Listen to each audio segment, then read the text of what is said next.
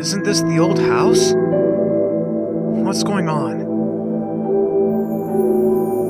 This is your memory. Or should I say, our memory? Who are. Are you. me? Your inner self. You wanted to escape your traumatic past, but it kept on coming back to you. You!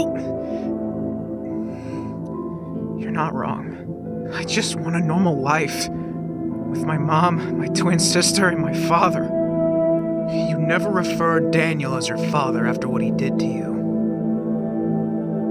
Enough of this sadness. You must let go of the past. Focus on what will be ahead of you, Max.